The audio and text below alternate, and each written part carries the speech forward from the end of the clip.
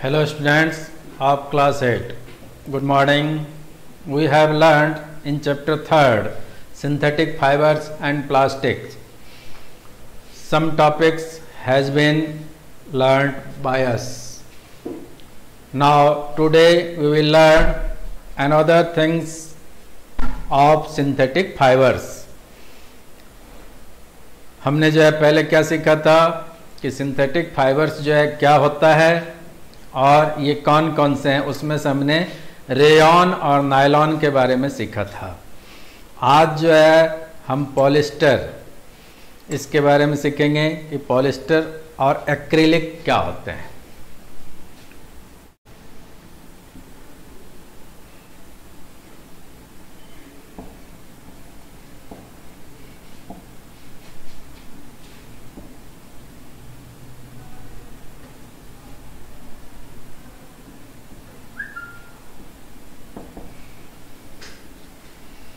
तो देखिए, पहले है पॉलिस्टर्स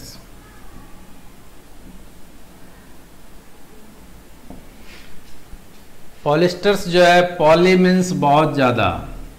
और एस्टर जो बनता है, ये दो चीज़ों को मिला करके बनाया जाता है। एक तो होता है एथेनॉल और दूसरा होता है एथेनोइक एसिड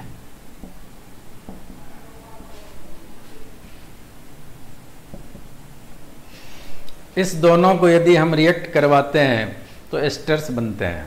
इस प्रोसेस को एस्टरिफिकेशन कहा जाता है। और जो एस्टर्स है, इसका smell fruit like sweet smell देता है। अब जैसे एस्टर्स जो हैं, इसकी संख्या बहुत ज़्यादा हो जाती है तो कि ये कहलाते हैं पॉलिस्टर्स अब देखिए कि जो पॉलिस्टर्स है, इसके कपड़े, हम पहनते हैं लेकिन इसमें आप देखते हैं, जैसे आप इसको धोने में आसानी महसूस करते हैं, आसानी से सूख जाता है। इसके अलावा यदि आप देखेंगे कि पॉलिस्टर्स जो है, इसके कपड़े को ज़्यादा प्रेस वगैरह करने की आवश्यकता भी आपको नहीं पड़ती है। इसका मतलब क्या सलवटें कम आती है। आपने धो दिया और अच्छी तरह से झटक दिया तो ये क्या है? इसके जो क्रिस्प है, उसमें कोई प्रॉब्लम नहीं आती है। अब पॉलिस्टर्स जो है, इसके कपड़े बनते हैं, जो कि हम यूज़ करते हैं। इसके अलावा टेरिलीन आपने नाम सुना होगा। टेरिलीन जो है, ये भी पॉलिस्टर का एक पार्ट है। तो टेरिलीन जो है, ये कैसे बनते हैं? तो ये जैसे पॉलिस्टर है तो ऐसे ही पॉलिस्टर का एक पार्ट है, जो कि टेरिलीन कहलाता है। अब हम देखते हैं कि जो और भी चीज़ें हैं तो टेरिलीन के अलावा पॉलीकॉट।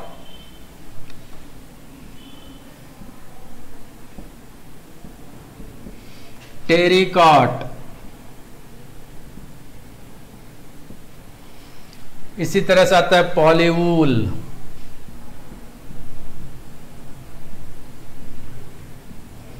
टेरीवूल। तो ये कॉट जो है इसका मतलब क्या है कि पॉलिस्टर में ही कॉटन को मिक्स कर दिया गया। टेरिकॉट, टेरिलीन है, टेरिलीन में कॉटन को मिक्स कर दिया गया। तो ये बन जाते हैं पॉलीकॉट और टेरिकॉट। इसी तरह से वुलन है। इसमें यदि हम पॉलिस्टर को मिक्स कर देते हैं तो पॉलीवूल बन जाएगा। टेरिलीन को वुलन के साथ मिक्स कर दिया जाता है तो ये टेरी वूल बन जाते हैं। अब जैसे आता है पीईटी पीईटी जो है बहुत ही मज़बूत स्ट्रांग फाइबर होता है। ये जो है पॉली एथिलीन टेरेप्थलेट कहलाते हैं। पॉली एथिलीन टेरेप्थलेट ये जो है बहुत ही मज़बूत स्ट्रांग फाइबर होते हैं। और इसका उपयोग जो है रस्सी वगैरह बनाने के लिए, टेंट वगैरह बनाने के लिए किया जाता है। अब हम चलते हैं एक्रेलिक। तो एक्रेलिक जो होता है, ये क्या है? वुलन के जैसा ही होता है। तो हम जैसे देखते हैं, उन्हीं कपड़े सर्दी के मौसम में पहनते हैं। तो जो सर्दी के मौसम में उन्हीं कपड़े हम पहनते हैं तो प्योर ऊन।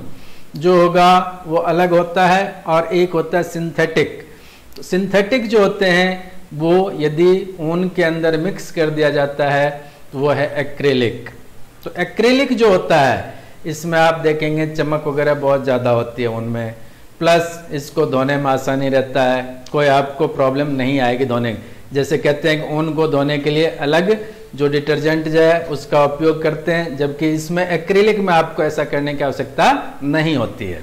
तो ऊन का ही उपयोग होता है एक्रिलिक के अंदर. अब आता है हमारा कि जो ये हमने सिंथेटिक फाइबर पढ़ा है, इसका अच्छी विशेषताएँ क्या क्या है और इसका नुकसान क्या क्या है?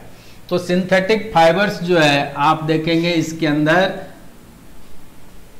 एक तो गुण हो गया कि इसको हम जब पहनते हैं तो इसके दाम कम लगता है हमें कीमत कम होती है। इसका जो खर्चा है, वो कम आता है। जबकि कॉटन जो हम पहनते हैं कॉटन का खर्चा बहुत ज़्यादा है। प्लस इसको यदि सिंथेटिक फाइबर में आप नायलॉन ले लें या फिर पॉलिस्टर ले लें, टेरिलिन ले लें, इसको आप देखेंगे कि यदि धोते हैं तो आसानी होती है। तुरंत धुल जाता है, तुरंत सूख जाता है।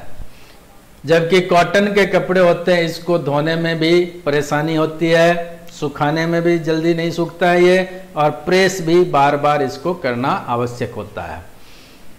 अब सिंथेटिक फाइबर्स जो है इसमें इसकी मजबूती, जैसे नायलॉन हमने पढ़ा था तो नायलॉन जो है, यदि इसको हम देखते हैं रस्सी के बना करके, नायलॉन जो है, यदि ऊपर पहाड़ों पर फेंका जाता है तो पहाड़ पर चढ़ने के लिए क्लाइंबिंग करने के लिए, इसके रस्सी का उपयोग करते हैं हम। इसका रीजन क्या है कि जो सिंथेटिक फाइबर में नायलॉन है, नायलॉन की जो रस्सी होती है स्टील के तार से भी मज़बूत होता है। ये अपने को ध्यान रखना है। ये बहुत ही उपयोगी है। अब जैसे इसका अनुपयोग क्या है? जैसे हमने उपयोग तो कर लिया कि भाई ये उपयोगी में आ गए, लेकिन जब हम पहनते हैं तो इससे नुकसान क्या होगा? तो उसमें आप देखेंगे, चाहे ये पॉलिस्टर हो, या नायलॉन हो, या फिर रेयन हो, या एक्रिलिक हो, ये सभी जो है, जलाने पर प्लास्टिक जैसी बदबू देता है। इसका रीजन क्या है? इसमें प्लास्टिक पार्ट पाया गया। दूसरा नंबर यह है कि यदि ये कपड़े पहन करके हम किचन में हैं और मान लीजिए खुदा न खास्ता आग लग गई तो कपड़े ने आग पकड़ लिया तो ये क्या होगा? हमारे स्किन के साथ चिपकता जाता है। इसको हटाना संभव नहीं हो पाता है। तो ये इसके अंदर सबसे बड़ा नुकसान है। इसलिए ये जो है सिंथेटिक फाइबर सस्ता तो पड़ता है धोने में आसानी है, साथ में सुखाने में आसानी है, प्रेस करने की आवश्यकता नहीं होती है, लेकिन नुकसान जो है वो सबसे बड़ा ये है कि इसके अंदर जो केमिकल्स होते हैं, वो आग जब पकड़ लेते हैं, जल्दी हटते नहीं हैं। जबकि कॉटन में ये सिस्टम नहीं होता है। Okay thank you